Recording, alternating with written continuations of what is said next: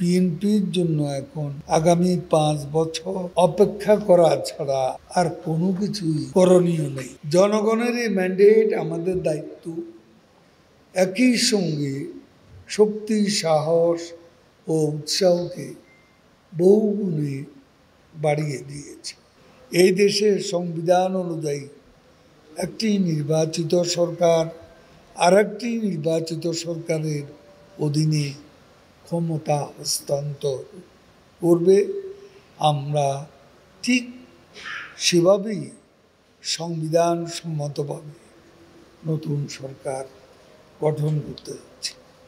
শেখ হাসিনা সরকার গঠন করে তার অসমাপ্ত কাজগুলো বাস্তবায়ন করবে। আমাদের নির্বাচনী ইশতেহারে দেয়া ওয়াদা আমরা অক্ষরে অক্ষরে বাস্তবায়ন করব। বিএনপি জামাত এবারও ব্যর্থ হয়েছে। তাদের সকল ষড়যন্ত্রের জবাব ব্যালটের মাধ্যমে মানুষ দিয়ে দিয়েছে।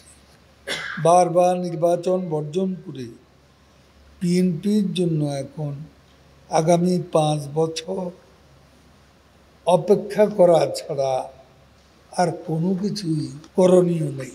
আমরা বিএনপিকে বলব সত্য মেনে নিয়ে ইতিবাচক রাজনীতি করুন, গণতন্ত্রের মৌলিক নীতি অনুসরণ করুন, সংবিধান বিবর্জিত রাজনীতি পরিহার করুন, নতুবা ইতিহাসের আস্থা করে আপনাদের নিক্ষিপ্ত হতে নির্বাচনের রেজাল্ট অফিসিয়ালি ঘোষণা হওয়ার পর বিরোধী দল কারা? অলরেডি বিরোধী দল তো অনেকেই জিতেছেন জাতীয় পার্টি।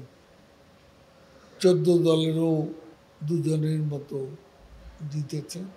এ ব্যাপারে সিদ্ধান্ত নেওয়ার সময় তো দূরে নয়। যিনি লিডার অব দি হাউস হবেন, তিনি এইসব এই ব্যাপারে সিদ্ধান্ত নেবেন।